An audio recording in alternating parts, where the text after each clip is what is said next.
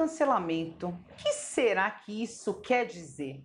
Antigamente a gente cancelava compromisso, tarefas, responsabilidades, desde quando a gente passou a cancelar pessoas? Bora lá?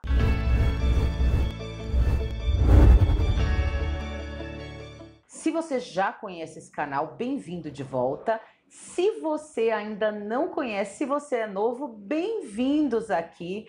Aproveita, já deixa a sua inscrição para você não perder as atualizações. Esse canal aqui a gente fala um pouquinho de arte, simbologia, história, psicologia, neuropsicologia. A gente está cheio de conteúdo para você, feito para vocês com muito carinho, não é, Amanda? Bom, Hoje a gente vai falar um pouquinho sobre essa polêmica de cultura do cancelamento, né? Eu acho que o que está acontecendo no Big Brother essa semana tá trazendo uma grande repercussão. Eu que nem costumo assistir Big Brother, não, não tem como, né, gente? Todos os olhares estão aí nessa temática, que já é uma problemática que vem acontecendo há algum tempo, mas eu acho que essa situação aí da Carol Conká é, e o Lucas, né?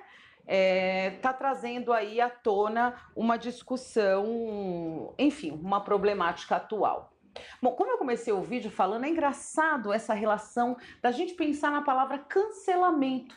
Quando a gente pensa em cancelar alguma coisa, geralmente, realmente, a gente se referia à tarefa. Olha, eu vou cancelar esse compromisso, eu vou cancelar determinada atividade, mas a gente nunca utilizou a palavra cancelamento para se referir a uma pessoa.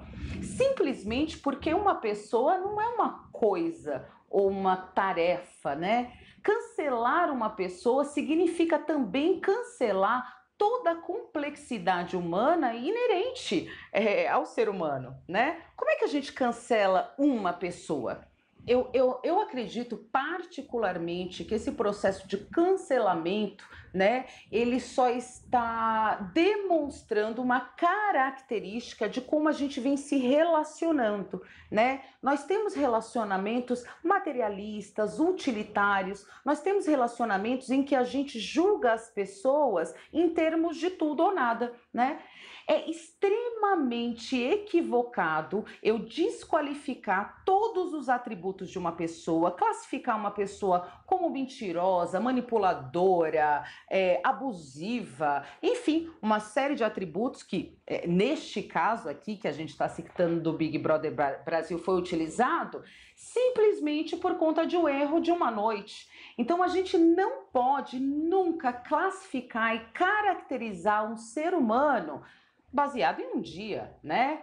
Isso é, é, é, é, além de antiético e leviano, dentro da psicologia a gente chama de distorção cognitiva, né? Quando a gente coloca muito peso e a gente julga uma pessoa em termos de tudo ou nada.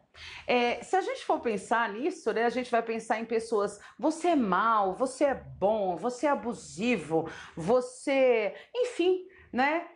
Gente, aqui no mundo manifestado, a gente já falou de princípio aí da dualidade, né? É, todo mundo é bom e mal ao mesmo tempo. Nós temos dentro do nosso interior é, características, né, de sombra e de luz. Acho que o fator principal é como a gente equilibra essas forças dentro da gente, né? O que, que a gente alimenta mais? Nosso aspecto sombra, nosso aspecto luz.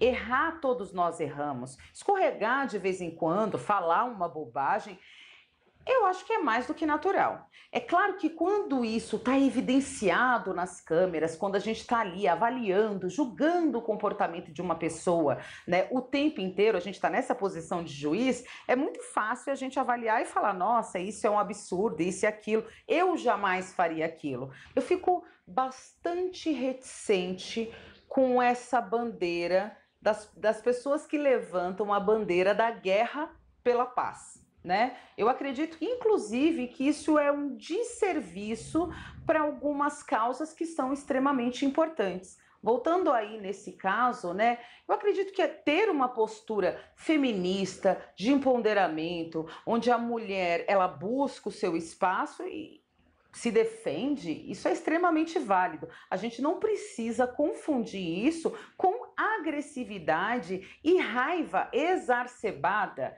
Toda essa raiva que aparece ali no programa me lembrou até a Sarah Winter, né? É, duas mulheres com poder de eloquência, persoa, persuasão muito grande, mas com essa raiva de uma maneira muito intensa, muito desmedida. Tem uma outra questão aí, né, nesse cancelamento da Carol com K, com o Lucas, que ela está causando o próprio cancelamento. Agora veja bem, isso coloca todos nós num dilema ético, tá? Porque estamos criticando a Carol com K, que está cancelando o Lucas, e a gente vai tomar a atitude de cancelar ela então vivemos, né, coisificando as pessoas como se elas pudessem simplesmente ser canceladas, né? Então a Carol cancelou o Lucas, a gente cancela a Carol e daqui a pouco cancela a gente porque somos coisas, né? Vamos repensar um pouquinho? Bom, então a gente precisa tomar muito cuidado com essa bandeira da guerra pela paz, né?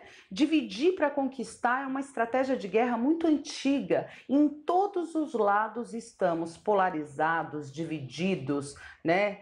É, é, colocando o nosso juízo de valores com é, muita, muita força, muita exigência que o outro tem que cumprir exatamente aquilo que eu penso, aquilo que eu estipulei né? Então acho que a gente precisa repensar nossas posturas, né? A gente precisa trabalhar um pouco a mansidão, inclusive, né? Para encerrar esse vídeo que a gente aborda essa essa polêmica aí dessa semana, vamos acalmar os ânimos, né, em relação ao cancelamento, inclusive ao cancelamento da Carol, né? A gente não pode definir toda a trajetória dela em uma semana, que talvez ela, ela inclusive esteja adotando um personagem que ela pode estar achando legal, enfim, né? Vamos tomar cuidado com essa cultura do cancelamento, porque não são coisas, são pessoas complexas, né? E vamos pensar aí, né, num livro clássico. A gente sempre volta para a filosofia, aqui não tem jeito, né? Quando a gente pensa é, no livro A Arte da Guerra, um livro muito importante, né? Os maiores generais se fundamentaram nesse tipo de livro, por exemplo, Napoleão Bonaparte. Uma das maiores estratégias é que a gente não precisa ir para a guerra, porque quando vamos para a guerra, a guerra é, intrinsecamente implica em perda para ambos os lados, certo? E é com essa reflexão bem pacifista poliana que encerramos o vídeo do hoje, de hoje.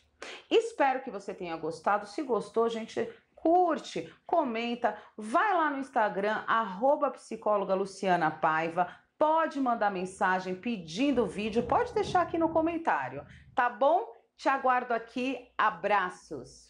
Psicologia, um montão de coisas e me perdi. Enfim, vamos lá. Não é? Não, não, não só uma vez acho que é, é... perdi no raciocínio. Dá uma tesourada aí que eu dei uma viajada, né?